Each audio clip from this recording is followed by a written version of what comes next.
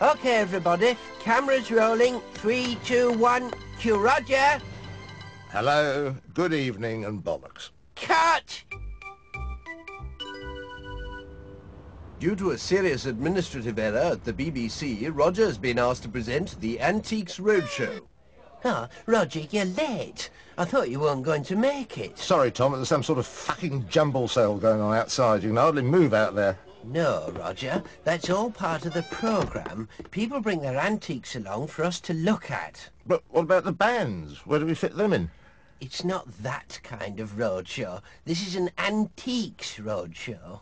Ah.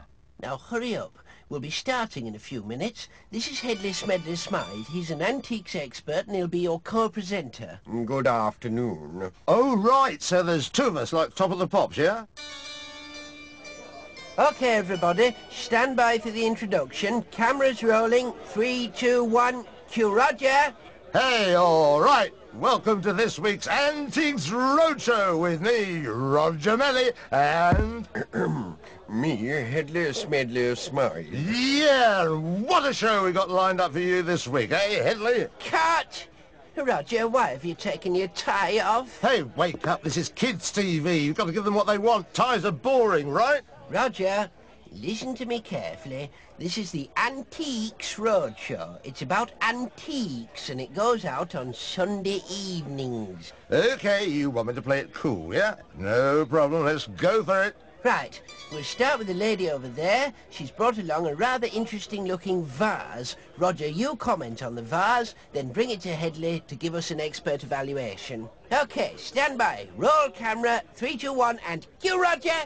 Hey, I bet this vase is worth a few bob. What do you reckon, Headley?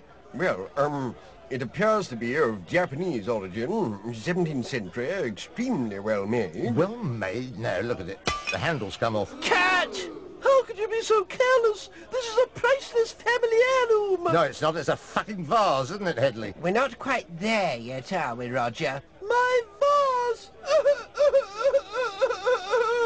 Listen, we'll be looking at a rather splendid chair next. This time, try to be a bit more enthusiastic. Try to show a bit of artistic appreciation. Okay, three, two, one. Cue Roger! Ooh, you fucker. Look at this chair. Good, isn't it? Um, yes, Roger. Um, possibly an early 18th century French piece, beautifully carved in mahogany. Mind if I have a quick shot on it?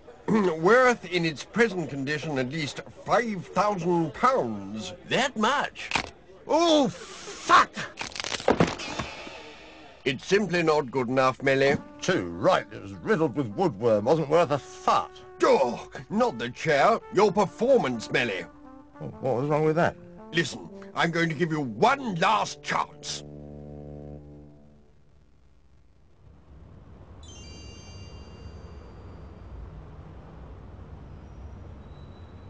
Okay, Roger, let's roll. Okay, Tom. Action! Hello, little boy. Do you want to see some puppies? Um, cut! Is there a problem, Tom? It's that line about the puppies, Roger. It Doesn't sound quite right, does it?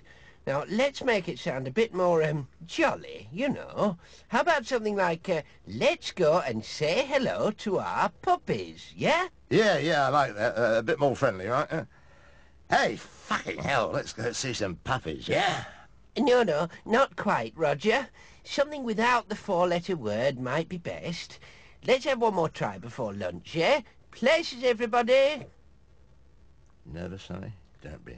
I'm a pro. I do this every day. Three, two, one, action! Hey, kids, let's have a look and see how the Blue Roger puppies are doing today, eh? Oh, yes. That's good, that's good. Oh, my. Haven't they grown a lot since we last saw them? Hmm, can I hold one? Yeah, yeah, of course. Hey, look at this. This one's got a little penis here. Good grief. Look at it. Can you see that on camera? Cut! Roger, the producer wants to see you in her office right away. Cheers, Tom. I'll pop up in a second.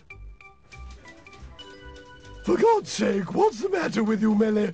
I've never seen such a display of vulgar, crude, unprofessional misconduct in my whole career. You're not fit to sweep the studio floor, never mind present a children's TV program. You're disgusting. You're fired, and I hope I never see your face on TV again. Sorry about your job, Roger. Ah, forget it, Tom. It's all in the game. That's show business. I'm a professional. Life goes on. Actually, I was thinking of moving on soon anyway. But the series hadn't even started yet. No, Tom, quit while you're ahead. Never let the grass grow under your feet. I've got my own plans. I've written a new show, new format, a game show. Can't go wrong. A game show, eh? Good idea. What's it called? It's called Celebrity Bumhole, and it's a winner. It's simple. A celebrity shoves their ass through a window with six question cards sticking out of it. The host, that's me, pulls one out and reads the question.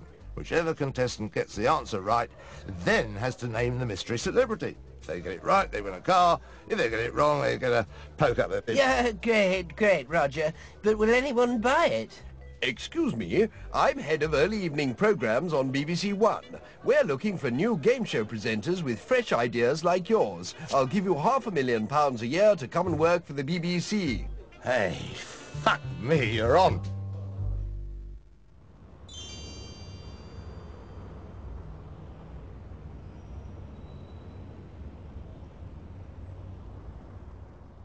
Okay, Roger. Just remember to start off with a joke or two, just like Les Dawson does. Okay, are you ready? Ready when you are, Tom. Good. We'll be rolling in five seconds. Three, two, one, action! Cue, Roger!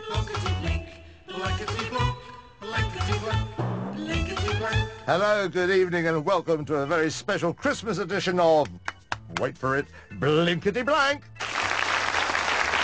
Hey, my mother-in-law, she's a right fucking bitch. Enough of that. Let's see who we got on the panel tonight. Cut! Roger, this is a family show, remember? Maybe we should skip the jokes, eh? Just go straight over to the panel and exchange a few good-natured jibes with them like we rehearsed. Action! Well, if it's not our old friend Paul Daniel. Nice to have you back with us, Paul. It's magic to be here, Roger. Yes, indeed. Still wearing that ridiculous rug, are you? Yeah, thought as much. now, now, now, now, you're a bit thin on top yourself, Roger. There's one or two hairs up there, isn't there? But not a lot. You cheeky twat. Well, Roger, frankly, I doubt if you'll ever work in TV again after that performance. No, forget it, Tom. It's no big deal. Getting the sack means I'll have time to finish my book. A book? You're writing a book? Yeah, Tom, there's at least one book in all of us. That's what they say. What's it all about, then? Oh, it's an autobiography, Tom. You know, candid confessions of a TV star. Should be a seller. It's called They Don't Call Me Roger for Nothing. Good title, eh? Have a look at it. Tell me what you think. Roger, you can't possibly publish this. Why not? It's disgusting. Look at this, chapter two, all the famous birds I've screwed. Oh, that's my favourite chapter. It's, it's a bit raunchy, doesn't it? Roger, this is appalling. You can't even spell. And besides, you haven't slept with any of these women. Oh, come off it, Tom. Sex sells books. It's what the punters want to read. Maybe so, but there's no need for this. Chapter 3, Birdshu, I've had it off within the doggy position. Oh, I thought you'd like that bit saucy, eh? I don't like it, Roger. It's rubbish. And I think I can safely say that nobody in their rightful mind is going to publish this dross. Excuse me, but I couldn't help overhearing your conversation. I'm from the News of the World. We'd like to serialise your book in our paper. We'll pay you £50,000. I don't know whether you're interested, but we have several vacancies for television presenters of your calibre on Sky TV at this moment. Oh, it's funny you should say that. You see, just had this great idea for a game show.